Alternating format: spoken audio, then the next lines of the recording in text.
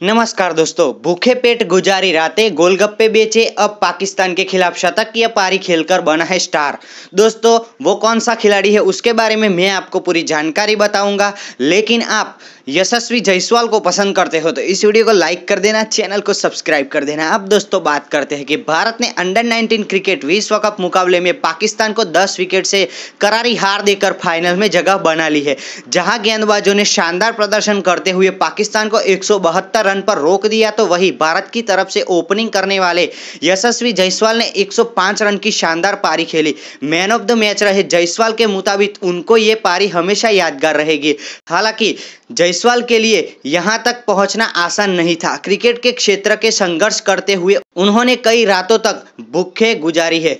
यहाँ तक कि इस क्षेत्र में कुछ कर दिखाने के लिए उन्होंने गोलगप्पे भी बेचे हैं, लेकिन इसके बावजूद वह रुके नहीं है और मेहनत करते गए। इसी का नतीजा है कि उन्होंने आज पाकिस्तान के खिलाफ अपनी पारी को यादगार बना दिया। यशस्वी मुंबई के मुस्लिम यूनाइटेड क्लब के गार्ड के साथ तीन साल तक टेंट में रहा।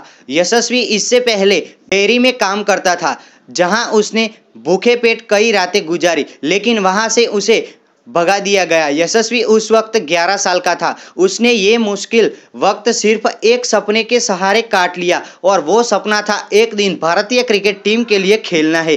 खैर, यह बात रही छः साल पुरानी, लेकिन यह यशस्वी जायसवाल सत्रह साल का हो गया है और वह भारत की अंडर 19 के लिए खेलने के लिए तैयार है।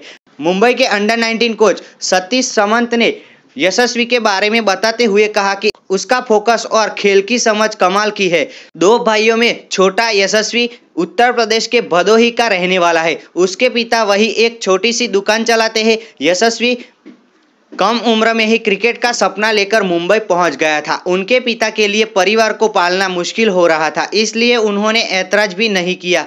मुंबई में यशस्वी के चाचा का घर इतना बड़ा नहीं था कि वो उसे साथ रख सके। चाचा ने मुस्लिम यूनाइटेड क्लब में अनुरोध किया कि वो यशस्वी को टेंट में रहने की इजाज़त दे। यशस्वी ने बताया कि इससे पहले कालबा देवी डेयरी में काम करता था। पूरा दिन क्रिकेट खेलने के बाद मैं थक जाता था और सो जाता एक दिन उन्होंने मुझे ये कहकर वहाँ से निकाल दिया कि मैं सिर्फ़ सोता हूँ और काम के उनके कोई मदद नहीं करता। अगले तीन साल के लिए वो टेंट में ही यशस्वी के लिए घर बन गया और पूरी कोशिश यही होती थी कि मुंबई में उनकी संघर्ष से भरी ज़िंदगी की बात माँ बाप तक नहीं पहुँचे। अगर उनके परिवार को पता चलता तो क्रिकेट कैरियर का वही अंत हो जाता। उनके पिता कई बार पैसे बेचते, लेकिन वो कभी भी काफ़ी नहीं होते थे। रामलीला के समय आज़ाद मैदान पर यशस्वी ने गोलगप्पे भी बेचे, लेकिन इसके बावजूद कई रातों को उन्हें भूखा सोना पड़ा। यशस्वी ने संघर्ष के दिन याद करते हुए कहा कि रामलीला के समय मेरी अच्छी कमाई हो जाती थी। मैं यही दुआ करता हूँ कि मेरी टीम के खिलाड़ी वहाँ न आए, लेकिन कई खिलाड़ी वहाँ आ जाते थे। मुझे बहुत शर्म आती थी। सभी खिलाड़ी अपने घर से खाना लाते थे और मुझे टेंट से दो समय का खाना मिलता था। लेकिन कई बार भूखे भी सोना पड़ता था, क्योंकि खुद रोटियाँ बनानी पड़ती थी। तो दोस्तों, ये जानकारी आपको पसंद आई हो तो चैनल को सब्सक्राइब कर देना बेलाइकन को भी प्रेस कर देना, क्योंकि मैं ऐसी क्रिकेट जगत की खबरें लेकर आता रहूँगा।